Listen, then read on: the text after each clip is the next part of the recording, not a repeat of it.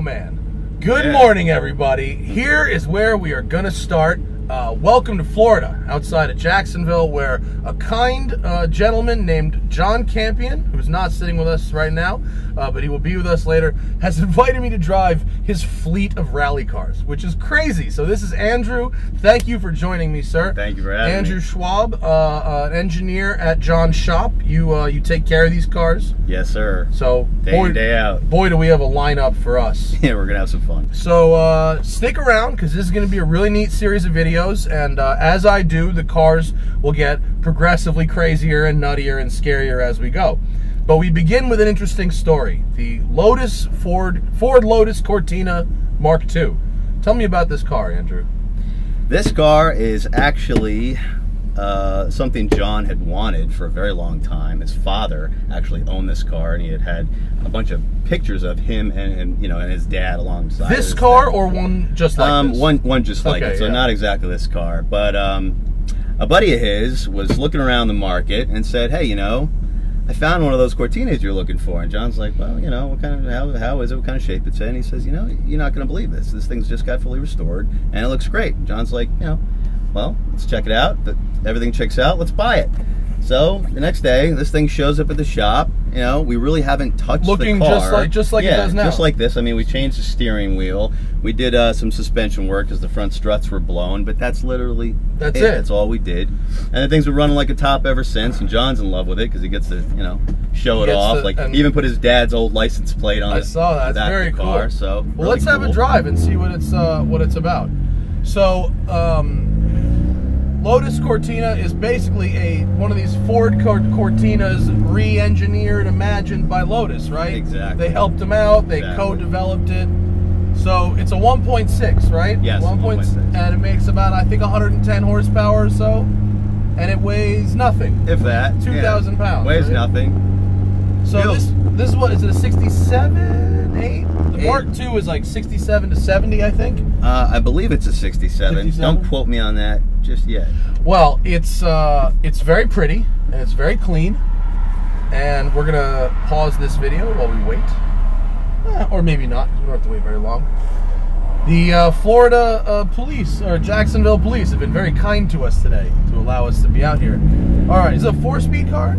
It's actually five speed. Can I can I wind it out a little Absolutely. bit? Let it breathe.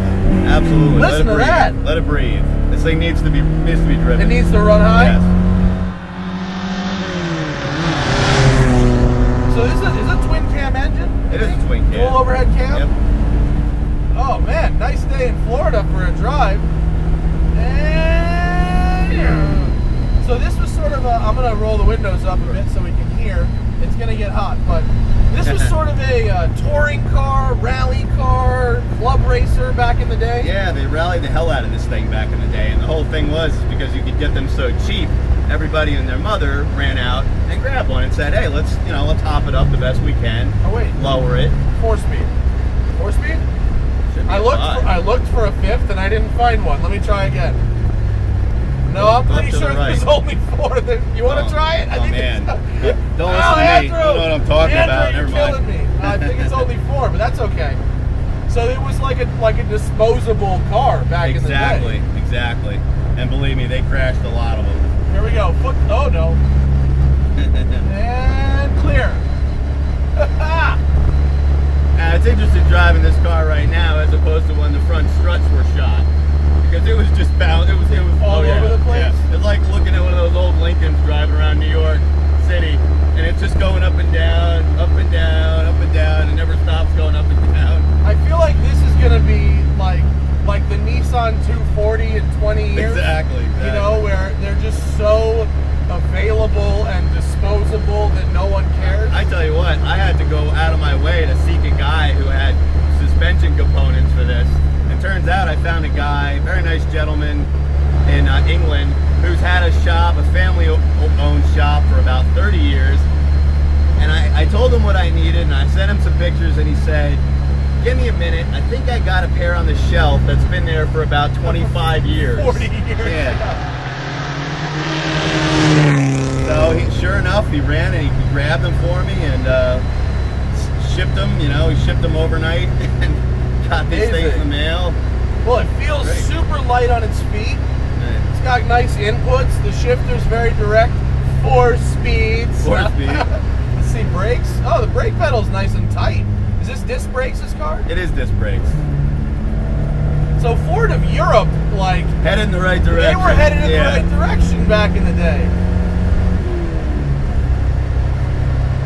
The This motor loves so to do whatever you want it to do. It'll scream all day, or it'll Yeah. putt putt like a lawnmower. How does it? Let's let me go. Like, let me see how it how it likes your putt putty lawnmowerness. Yep. Let's see. It really, it's really happy like at high RPMs. Like even right now, I'm at 4,000 RPM. Hello.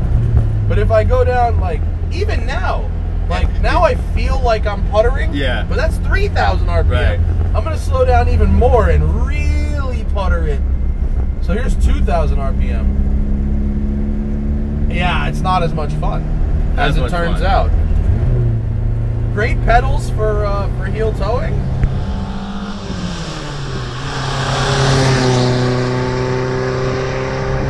It rides good. Ride's good now.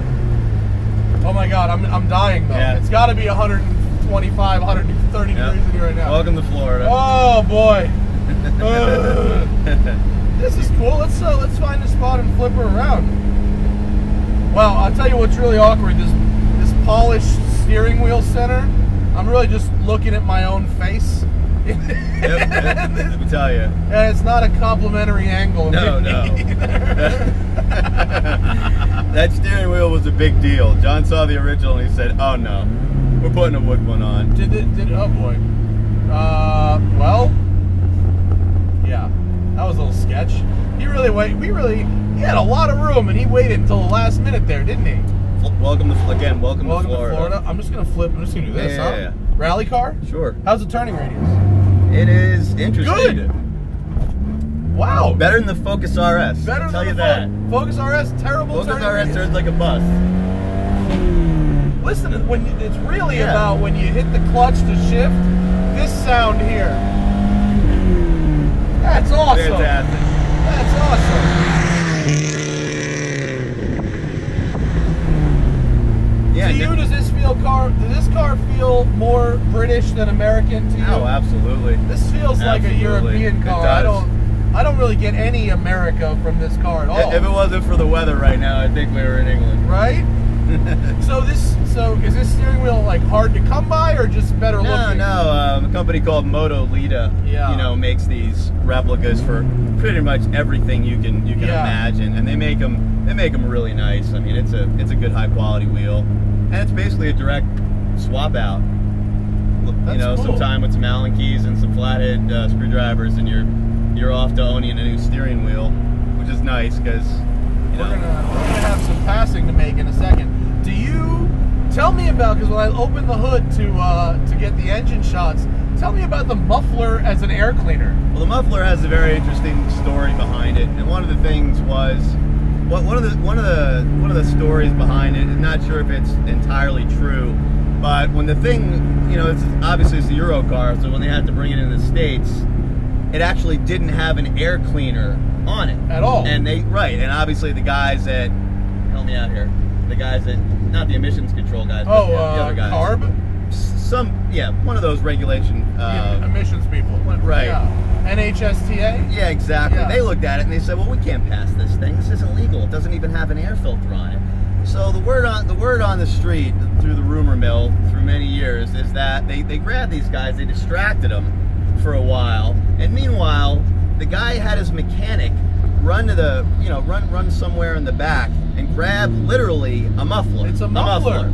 Grab an It's empty the, muffler. The, most stereotypical looking Exactly. muffler that there we should is. probably get a shot of that. I no have one one. will believe you. Don't worry. you- No, I have Right. one. Yeah, yeah. Okay. Yeah, And they literally hooked it up to the carbs with some, you know, with some fabricated piping. It's hilarious. And the guy came back and they said, "Look, here's your air cleaner," and he said, "Okay, it's you know, the car's passed." And then they built them like right. that. And they built them like that. It's sort of a trademark. That's so funny and It's really crazy. funny, right? Nothing in there, by the way. No, no air component. just completely no hollow. air cleaning element by any means. So this has no air filter of any Absolutely kind. not. That's so funny. So was this back in '67? This was sold as a road car, right? Yep, This would be road the car. equivalent of a Focus RS, more or less, right? It's not Value wise, back in the day, absolutely. Same price. right. No, not, not any different. I mean, that's why those old Focus, uh, even the Escorts, are, Yeah. were so popular back then. It's because they were so affordable. Okay, here we go. Ready? Oh yeah. Oh, I can't. I don't have enough room. It's oncoming. We'll get. Oh. Now there's just so much oncoming. All right, I'm gonna need to find a pull off because this engine sounds way too good. Here we go. I'm just gonna just gonna pull off and hang out right here for a second and uh, let some traffic clear. And I'm gonna three pointer. We'll be right back. Well, reverse down. Uh, yeah, down into the right. All right. What do you say? We. What do you say? Full a full four gear pull. Absolutely. Here we go.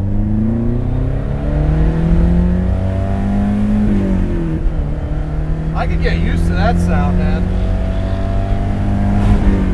Cars with twice as much horsepower don't sound that Oh, bad. it's beautiful. You know, it's the muffler as an air cleaner. Right, That's air what cleaner. Oh, what a lovely little cruiser it is. It's fun. I drove in New Zealand a, a Vauxhall Viva. Ooh. Yeah. It had a little. It had the guy put a Mazda six in it, but it was like, it was this exact vibe of this two box design. Same thing with like uh, that old Giulietta, right? Old Alfa sedan. How do you like that car, Giulietta? The new one or the old one? The new Giulia? Yeah, the new one that just came out. Uh, they're very pretty and they drive good. Okay. But every one that me or any of my friends have tested is broken. Brakes. Yeah. Okay. Let me tell you, no shocker there. This is uh, so you've got you well John has and you care for garage full of mostly Italian vehicles, and Oh, then you've yep. got this little Ford Lotus thing. Italian and German is the vibe at the moment. Yeah. Is this? I mean, as a collector car, like, is this a reliable car? Like, do, do I tell you what, I can't believe how reliable this thing has been. Shockingly so. And he drives it in the cooler months, Listen drives it all the time.